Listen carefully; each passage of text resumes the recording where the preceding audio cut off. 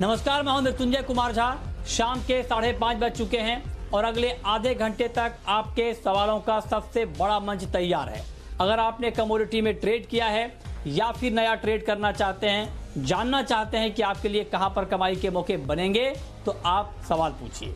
Number आप note कर लें, जिस नंबर पर आप कॉल कर सकते हैं, zero double two two three double zero one six three four. इसके अलावा आप zero double two two three double zero one six three five पर भी अपना सवाल पूछ सकते हैं।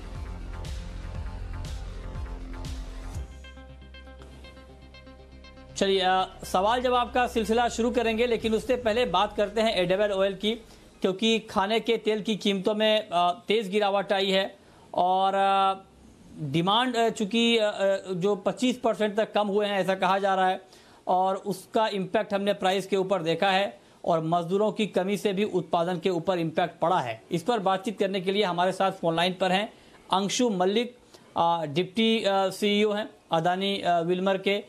अंशु मलिक जी, बहुत बहुत स्वागत है आपका जी बिज़नेस पर।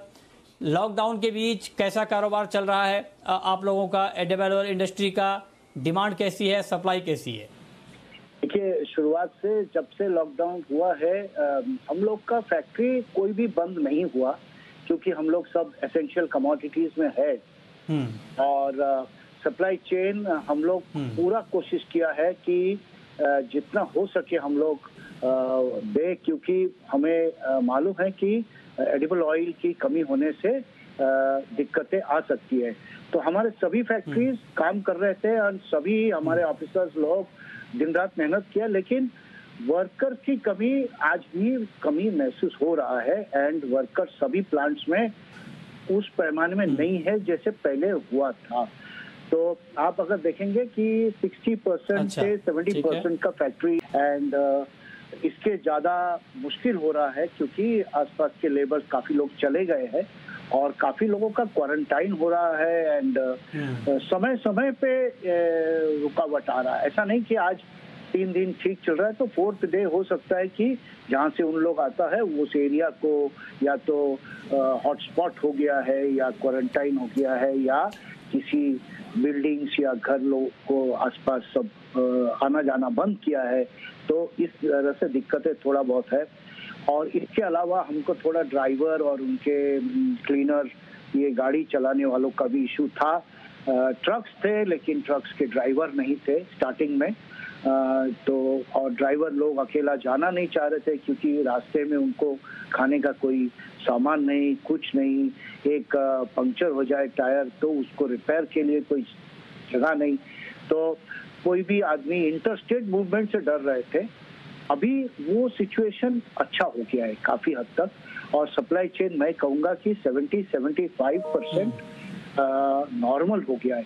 बट अभी जो दिक्कत है कि हमारे पास जो वेयर हाउस है वहाँ पे तो हमने माल पहुँचा दिया है देश में लेकिन वहाँ से जब हम अंदर जाना चाहते हैं समझ लीजिए 200-250 हम्म। किलोमीटर छोटे छोटे गाँव में या शहरों में माल हम्म। सप्लाई करने वो नहीं हो पा रहा है क्योंकि या तो काफ़ी जगह में बंद है या इंटर डिस्ट्रिक्ट मूवमेंट में कहीं कहीं पे रुकावट है एंड ओवरऑल यहाँ पे हमारा 20 से 25 परसेंट लोगों को हम लोग पहुँच नहीं पा रहे हैं कंज्यूमर पैक देने में।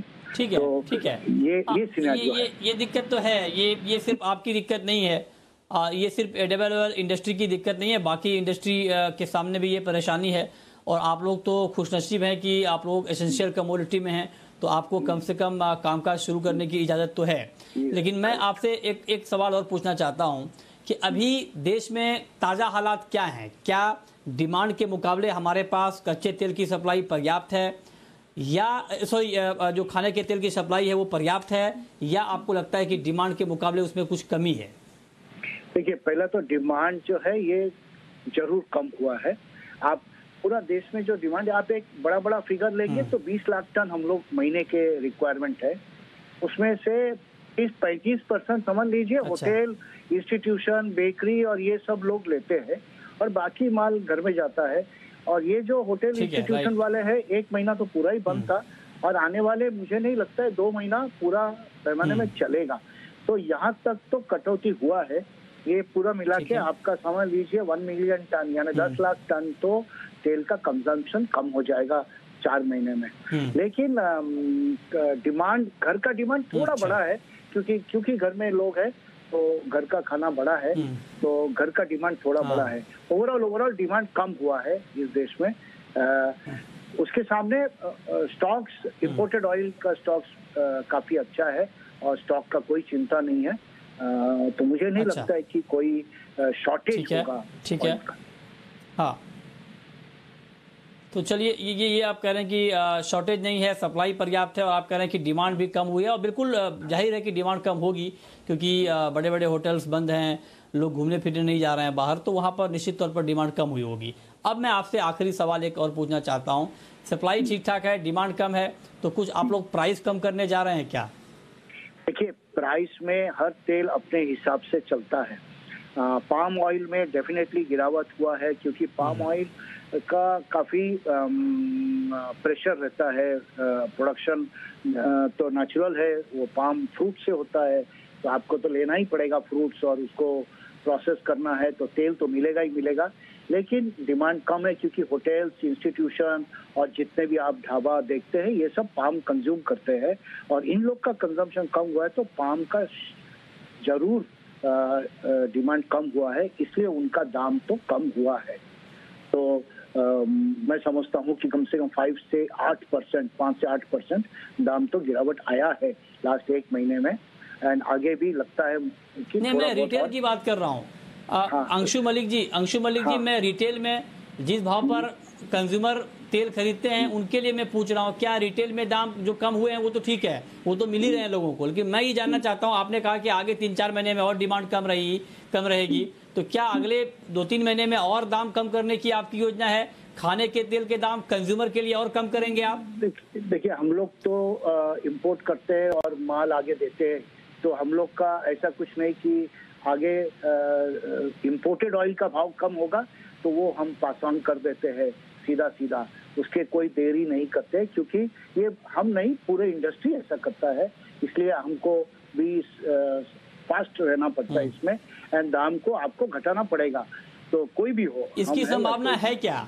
दाम कम होने की संभावना है क्या? देखिए कुछ तो दाम कम हुआ है एक महीने में और आगे चल के भी मुझे लगता है कि कुछ तो कम होगा। सर जो हो गया अरे भाई साहब जो हो गया उसके बारे में नहीं पूछ रहा हूँ। मैं आगे के लिए पूछ रहा हूँ। आगे भी आपने कहा कि तीन चार महीने डिमांड कम रहेगी। मेरा सीधा सवाल आपसे सर यही है। आप डिमांड कम हो गई सप्लाई ज़्यादा है उसकी बात मैं अब नहीं कर रहा हूँ। मैं अब सीधे पूछ रहा हूँ कि क्या कंज्यूमर के लिए आप लोग पैकेट पैक्ड ऑयल के दाम कम करने जा रहे हैं? अगर डिमांड कम है और सप्लाई पर्याप्त है तो अगले दो तीन महीने में? होगा। होगा कब दिखता okay. तो है कम होगा आप कह रहे हैं कि दाम कम होगा ठीक है चलिए अच्छी बात है लेकिन सभी तेल का हाँ। नहीं होगा चलिए एक अच्छी बात है कि कम से कम कंज्यूमर हालाँकि यहाँ पे मुझे ये कहना है पाम अच्छा। में तो हो सकता है लेकिन सनफ्लावर में नहीं होगा क्योंकि सनफ्लावर जो हम इंपोर्ट करते हैं उसका सीज़न खत्म हो रहा है यूक्रेन और रशिया में और रशिया ने अभी एक्सपोर्ट बंद कर दिया हम्म। है उनको अपना तेल रखना है उनके लिए तो सनफ्लावर में मुझे नहीं देखता है अक्टूबर तक कम होना क्योंकि नया क्रॉप तो अक्टूबर में आएगा तब तक नहीं आता है तब तक तो सनफ्लावर कम नहीं होगा। हम्म। बाकी सोयाबीन एंड पाम ज़रूर uh, लगता है मुझे थोड़ा बहुत करेक्शन डाउनवर्ड्स है। ठीक है ठीक है। ओके चलिए बहुत शुक्रिया आप अंशु मलिक जी आपका हमारे साथ जुड़ने के लिए और एडेबल ऑयल इंडस्ट्री के बारे में बात करने के लिए बताने के लिए कि आगे क्या हालात होने वाले हैं। तो आपने एक अच्छी बात यह बताई है कि कंज्यूमर के लिए आगे खाने के तेल के दाम कम हो सकते हैं। आगे बढ़ते हैं अब बात करते हैं खाने के तेल के बाद कच्चे तेल की क्रूड ऑयल की क्योंकि गिरावट वहाँ पर भी है और गिरावट ही नहीं है जोरदार गिरावट है। आज भी मार्केट 25 परसेंट तक इंट्राडे में टूटा था। हमारे साथ बातचीत करने के लिए राजीव कपूर हैं ट्रस्ट लाइन के और सचिन गुप्ता हैं चॉइस ब्रोकिंग के। आप दोनों का बहुत स्वागत है। राजीव जी अब इस लेवल पे क्रूड में क्या किया जाए? हाँ, मृत्युंजय जी अभी थोड़ी देर पहला करीबन एक घंटे पहले बाज़ार आठ सौ रुपए के सर से और नौ सौ अस्सी तक का एक रिकवरी दिखाया था। और वहाँ से बाज़ार की फिर से रैली फिजल आउट होती हुई दिखी और बाज़ार अभी फिर साढ़े आठ सौ के आसपास है। तो ऐसा दिख रहा है कि अभी फॉर फॉर वन और टू डेज़ एक रेंज में आ गया है बाज़ार और जो रेंज मुझे समझ में आती है, वो मोटा मोटा ऐसा दिखता है कि सात सौ नब्बे, सात सौ पचास नीचे में बॉटम दिखता है और हज़ार रुपए अपर साइड कैप दिख रहा है अभी तो मुझे लगता है बाज़ार आने वाले एक दो दिन के लिए इसी दायरे में ट्रेड होने वाला है और जैसे जैसे एक्सपायरी पास आएगा बाज़ार का एमसीएक्स क्रूड का तो काफ़ी कुछ नाइमैक्स से इसको दिशा मिलेगी जिस तरह से अभी तक खबर पढ़ने में आ रही है सुनने में आ रही है कि फिर से वहाँ हालात वैसे बन रहे हैं कि वहाँ पर डिलीवरी लेने के लिए फिर से कोई जगह नहीं है और उसके कारण हो सकता है कि बाज़ार फिर से बहुत बुरी तरह गिरे और maybe there would be a possibility कि शायद इस बार फिर से नेगेटिव देखने को मिले। अच्छा तो आपको लगता है कि इस बार भी हो सकता है कि क्रूड का मार्केट एक बार फिर से निगेटिव में जाए। 850 के आसपास ट्रेड कर रहा है कच्चा तेल और अभी मार्केट 19 परसेंट से ज़्यादा नीचे है। तेज गिरावट के साथ कच्चे तेल में ट्रेड हो रहा है। दो दिन में करीब करीब 50 फ़ीसदी दाम कम हो चुके हैं क्रूड के। एक बार फिर से मार्केट भारी गिरावट के साथ आगे बढ़ रहा है। और क्रूड को लेकर एक खबर यह भी आई है कि बॉम्बे स्टॉक एक्सचेंज यानी बीएससी ने क्रूड में नेगेटिव प्राइस मैकेनिज्म का इंतज़ाम कर लिया है। जिस बात को लेकर पिछले दिनों काफ़ी चर्चा रही कि जब नैमेक्स में क्रूड माइनस चालीस डॉलर तक लुढ़का और उसके बाद जब नेगेटिव सेटलमेंट हुआ एमसीएक्स पर तो इसके ऊपर कई लोगों ने बड़ी आपत्ति भी दर्ज की कि नेगेटिव सेटलमेंट का प्रोविज़न इंडिया में नहीं है और कोई भी कमोडिटी का प्राइस माइनस में कैसे जा सकता है तो ये नहीं होना चाहिए। कोर्ट में भी ये मामला पहुँच चुका है और उसके बाद कारोबारियों ने ये भी कहा था कि यहाँ के एक्सचेंज को भी अगर ऐसा करना है तो एक मैकेनिज्म तैयार करना चाहिए नेगेटिव प्राइसिंग का। तो ये मैकेनिज्म अभी तैयार किया है बीएससी ने और ये चार मई से इनफैक्ट लागू होगा। कुछ सॉफ्टवेयर में बदलाव करने होते हैं टेक्निकल चीज़ें कि माइनस में भी भाव जाए तो वहाँ पर भी ट्रेड यहाँ पर हो पाए। तो इस बात का इंतज़ाम किया गया है। अब देखना होगा कि एमसीएक्स इसको लेकर क्या कुछ करता है। लेकिन सचिन, आपका क्या कमेंट है? ट्रेड का प्राइस है ये या अवॉइड करें अभी?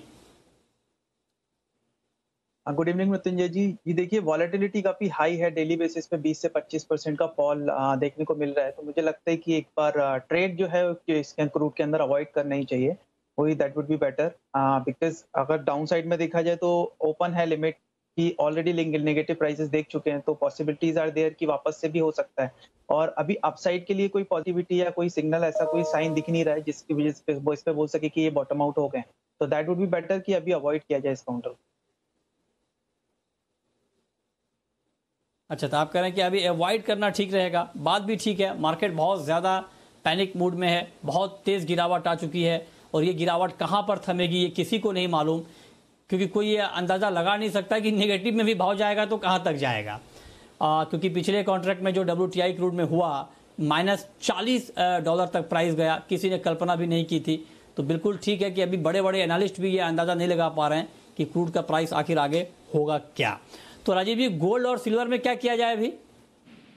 हाँ मृत्युंजय जी गोल्ड ने एक बहुत ही महत्वपूर्ण स्तर को ब्रेक किया। छियालीस हज़ार एक सौ पे एक अच्छा सपोर्ट लेवल था पिछले सात आठ दिन से उसे मेंटेन कर रहा था गोल्ड और आज लगातार उसके नीचे ट्रेड कर रहा है और कल भी इनफैक्ट क्लोजिंग जो हुई थी वो छियालीस हज़ार एक सौ पच्चीस हुई। तो मुझे लगता है कि बाज़ार में बिकवाली की जा सकती है अराउंड छियालीस हज़ार पे अगर बाज़ार आए ना ये छियालीस हज़ार एक सौ पचास का स्टॉप लॉस रखना चाहिए। और पहला जो टारगेट रहेगा वो पैंतालीस, आठ सौ रहेगा, जो कि अभी तक एक सपोर्ट की तरह एक्ट कर रहा है। और अगर छियालीस सॉरी पैंतालीस हज़ार सात सौ पचास के नीचे बाज़ार सस्टेन किया तो मुझे लगता है पैंतालीस हज़ार चार सौ तक भी बाज़ार जो है नीचे में सेटल सकता है गोल्ड का।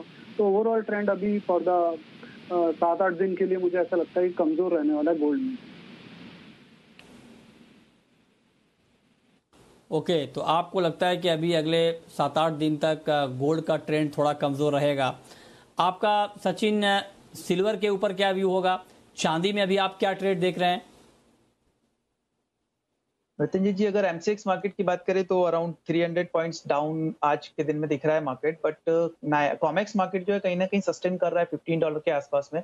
तो मुझे लगता है कि आज इंट्राडे के लिए अगर कॉल लिया जाए तो buy on dips strategy better रहेगी। अगर 41,300 350 की रेंज में प्राइस मिलते हैं सिल्वर के तो वहाँ से बाय पोजीशंस इनिशिएट करना चाहिए। डाउन साइड में 41,000 का एक स्टॉप लॉस रखना होगा और अप साइड में 41,800 और 900 तक के भी लेवल्स जो है आज इंट्राडे में एक बार देखने को मिल सकते ठीक है। चलिए अब शुरू करते हैं सवाल जवाब। पहला सवाल है बाबू बाबूलाल का। अजमेर से हैं हमारे साथ। पूछिए बाबूलाल जी। नमस्कार साहब। सर ये चने का भाव लॉकडाउन खुलने घटेगा क्या होगा? मैं किसान बोल रहा हूँ मेरे पास चना पड़ा सौ बोरी। मैं किसान बोल रहा हूँ सही सलाह बताओ साहब। अच्छा आप किसान हैं तो चलिए आपने बड़ा अच्छा सवाल और बड़ा अच्छे दिन में सवाल पूछा है। हाँ, हाँ आप किसान हैं तो आपके लिए अच्छी खबर ये है कि सरकार बहुत बड़े पैमाने पर चने की खरीद करने जा रही है बड़ी तैयारी इसकी की गई है। और लास्ट ईयर के मुकाबले 50 परसेंट से ज़्यादा खरीद की योजना है सरकार की चने की। और ये कोशिश है कि एमएसपी के ऊपर चना पूरा खरीदा जाए किसानों से। तो किसानों को राहत देने की बड़ी तैयारी की गई है। तो आप अगर आज हमारे साथ जो डेवलिंग फार्मर इनकम कमेटी के हेड हैं, अशोक दलवई साहब वो भी जुड़े थे।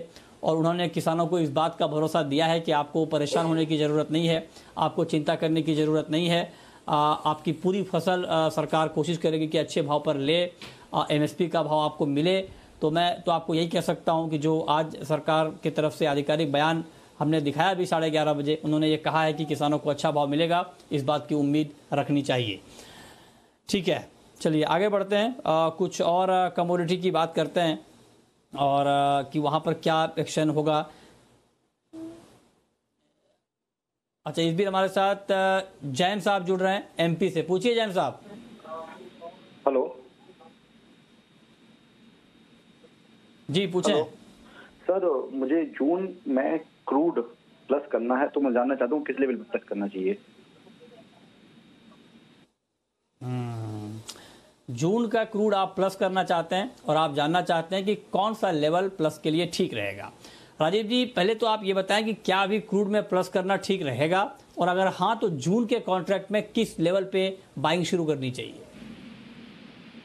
मृत्युंजय जी देखिए क्रूड में वैसे तो अवॉइड करें ट्रेडिंग करना बट अगर किसी को प्लस करना ही है तो बजाय फ्यूचर लेने के कॉल ऑप्शन भी है कॉल ऑप्शन से जा सकते हैं। जून की कॉल ऑप्शन ले लें या फिर फ्यूचर खरीदें तो उसके साथ पुट के साथ प्रोटेक्शन कर लें। सो दैट कि बाज़ार नीचे जाए तो पुट का एटलीस्ट मैक्सिमम प्रीमियम ही जाएगा हम्म। और आपको प्रोडक्शन भी देगा। आ, बाकी ट्रेंड की बात है ट्रेंड अभी भी कमज़ोर है। जून कॉन्ट्रैक्ट की भी बात करूँ तो 1350 का एक अभी एक सपोर्ट पकड़ा है बाज़ार में। और वहाँ से बाज़ार थोड़ा इम्प्रूव हुआ है। तो अगर बाज़ार वापस तेरह सौ पचास के नीचे सस्टेन किया तो मुझे लगता है बाज़ार फिर हज़ार रुपए के नीचे जाएगा। बिकॉज़ अभी भी ट्रेंड खराब ही है। तो अवॉइड करें बाइंग करना अभी फ़िलहाल यहाँ पर। ओके हिम्मत नगर से भी एक कॉलर इस वक्त जुड़े हैं। पूछिए।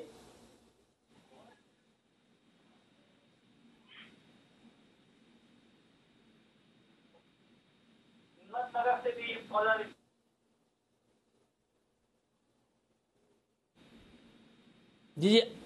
आप आप टीवी का वॉल्यूम कम करिए फिर सवाल पूछिए प्लीज़ कैस्ट का भाव कब बढ़ेगा और कहाँ तक जाएगा?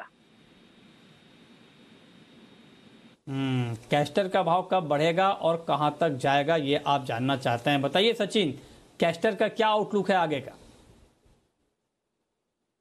मृत्युंजय जी कैस्टल का आउटलुक अभी भी वीक ही नज़र आ रहा है बिकॉज़ अभी चार्ट्स पर एट प्रेजेंट कोई ऐसा इंडिकेशन नहीं है जिसकी वजह से बेस पे बोल सके कि प्राइसेस और ऊपर जाएगा। मुझे लगता है इवन डाउन साइड में जो है एक बार 3700 और 3650 ये लेवल टेस्ट कर सकता है। उन लेवल्स के आसपास में सपोर्ट अगर प्राइसेस लेते हैं तो वहाँ से एक पुल देखने को मिलेगा जो कि around thirty eight hundred thirty eight hundred and fifty तक का रहेगा। इससे ज़्यादा पॉसिबिलिटीज अभी अप साइड में कैस्टर में नहीं लग रही। ठीक है।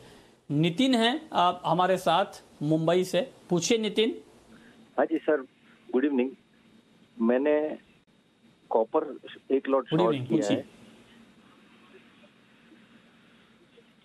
चार सौ छह रुपया पूरे में। एक लॉट आपने शॉर्ट किया है। हाँ जी फोर ज़ीरो सिक्स। चार सौ छह के भाव पर आपने शॉर्ट किया है कॉपर। राजीव जी क्या किया जाए? चार सौ छह के भाव पर इन्होंने शॉर्ट किया है बेचा है। आगे की रणनीति इनको क्या बनानी चाहिए? मृत्युंजय जी, एक छोटा सा एक बैंड में ट्रेड हो रहा है कॉपर कल से और नीचे में चार सौ दो रुपया और ऊपर में चार सौ साढ़े सात का रेट है। जिस बैंड में ये ट्रेड हो रहा है तो मैं इन्हें एडवाइस करूँगा एक स्टॉप लॉस मेंटेन कर लें ये चार सौ दस रुपये का और वेट करें एक बार इनको तीन से चार रुपए का प्रॉफिट नीचे में मिल सकता है। तो चार सौ दो रुपये के आसपास अपना प्रॉफिट लॉक करें और ऊपर में चार सौ दस का स्टॉप लॉस रखें। ठीक है। अगला सवाल है गोपाल का राजस्थान से पूछिए। हाँ जी सर नमस्कार। हेलो। नमस्कार पूछिए। हाँ जी सर गुआर पाँच हज़ार हो सकता है क्या सर? तीन साल पहले का पड़ा है और करोड़ माइनस एक हज़ार कब तक आएगा? माइनस एक हज़ार? चलिए ये ठीक पूछा आपने। कि ग्वार पाँच हज़ार चाहिए आपको, क्रूड माइनस में चाहिए, कैसे होगा? अगर ग्वार आपको पाँच हज़ार ले जाना है तो आपको क्रूड भी तो प्लस रखना पड़ेगा। क्योंकि क्रूड आप देखिए कि जिस तरह से क्रूड में गिरावट आई है, उसके बाद ग्वारगम की डिमांड भी बहुत कम हो गई, और उसका भी इम्पैक्ट हमने ग्वार पर देखा है। तो राजीव जी, क्या कहेंगे आप? ग्वार पाँच हज़ार ये पूछना चाहते हैं कि ग्वार पाँच हज़ार और क्रूड माइनस एक हज़ार कब तक आएगा? मृत्युंजय जी आई थिंक पिछले से या पिछले शो में भी इन्होंने शायद यही सवाल पूछा था और पाँच हज़ार का दाम पूछा था ग्वार तब भी हमारा कहना था कि ग्वार को पाँच हज़ार जाने के लिए बहुत सारे पड़ाव क्रॉस करने पड़ेंगे। देखिए, पहला पड़ाव इस समय जो बाज़ार का है ग्वार सीट का, वो छत्तीस सौ पचास, पैंतीस सौ का ही एक अहम बैरियर है। जब तक बाज़ार इसको क्रॉस नहीं करेगा, फिर उसके बाद नेक्स्ट पड़ाव आएगा चार हज़ार इकतालीस सौ का और फिर पैंतालीस सौ का आएगा। तो ये जब तक इन पड़ाव को क्रॉस नहीं करेगा और इनको क्रॉस करने के लिए ग्वार में मांग होना बहुत ज़रूरी है। और जैसा कि हम जानते हैं ग्वार का जो रॉ प्रोडक्ट है ग्वार गम, उसकी मांग क्रूड ऑयल इंडस्ट्री से सबसे ज़्यादा बन के निकलती है। और अगर क्रूड ऑयल के दाम माइनस में देखने हैं या नीचे की तरफ़ आने हैं तो उसकी मेरे को लगता है मांग बनेगी नहीं। तो ओवरऑल ऐसा लगता है कि ग्वार सीट बहुत ज़्यादा नहीं बढ़ेगा। हाँ थोड़ा सा मजबूती दिखा सकता है, छत्तीस सौ, साढ़े छत्तीस सौ जा सकता है बट अभी पाँच हज़ार तो मुझे दिखता नहीं है। और जहाँ तक क्रूड ऑयल के माइनस जाने का सवाल है। ये बताना तो बहुत मुश्किल है कब जाएगा या नहीं जाएगा बट एक्सपायरी वाले दिन ही हमें नज़ारा देखने को अगर मिला तो मिल सकता है। अभी तो बहुत बताना मुश्किल है क्रूड के बारे में कि माइनस जाएगा नहीं जाएगा। ठीक। है ओके। इस बीच अमृतसर से एक सज्जन सवाल पूछना चाहते हैं। पूछिए।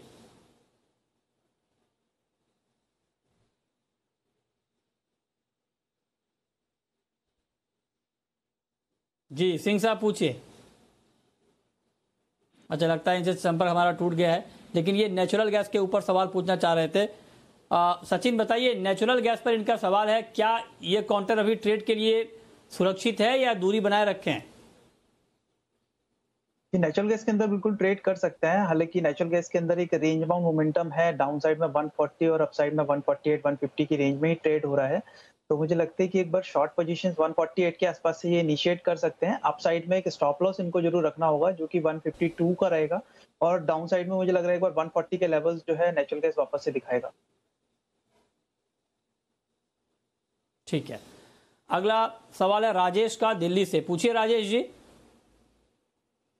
क्रूड का मार्केट कितना वॉलेटाइल चल रहा है मैंने पाँच क्रूड साढ़े आठ सौ के भाव बेच दिए हैं। साढ़े आठ सौ पर आपने बेचा है पाँच लॉट? हाँ जी हाँ जी। ओके ठीक है। राजीव जी 850 के भाव पर इन्होंने पाँच लॉट क्रूड बेचा है। बहुत हिम्मत का काम किया है इन्होंने तो ट्रेड करके क्रूड में। अब जब इन्होंने हिम्मत कर ली है तो अब आप इन्हें ये बताइए कि अभी करना क्या है इनको? मृत्युंजय जी, देखिए जैसा मैंने पहले बताया था, एक डेढ़ घंटा पहले बाज़ार में नौ सौ सतासी का एक उच्चतम सर्च हुआ था इंट्राडे में अभी, गिरने के बाद, और निचतम स्तर था सात सौ पचानवे रुपये और अभी बाज़ार फिर से रिकवरी में आया है, नौ सौ ग्यारह बारह का भाव है। तो आइडियली अगर एक हज़ार के ऊपर सस्टेन किया, तब इनको अपनी शॉर्ट पोजीशन से निकलना चाहिए जो कि डेढ़ सौ रुपया ऊपर होगा इनके रेट से। तो वही स्टॉप लॉस अभी बनता है, एक हज़ार दस के ऊपर अगर बाज़ार सस्टेन करता है तो ये अपनी शॉर्ट पोजीशन को क्लोज करें। ठीक है। ओके और अब वक्त है रैपिड फायर राउंड का।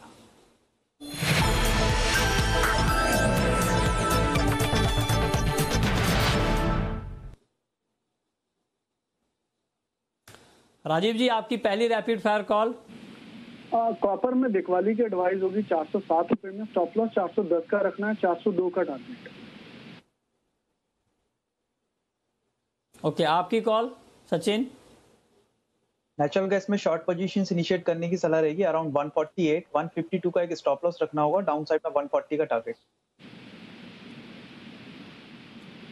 आपकी आखिरी कॉल गोल्ड में बिकवाली की सलाह होगी छियालीस हज़ार रुपए में स्टॉप लॉस छियालीस हज़ार एक सौ पचास टारगेट पैतालीस हज़ार आठ सौ और पैतालीस सात सौ पचास के नीचे सस्टेन किया तो पैतालीस हज़ार चार सौ भी रख सकते हैं।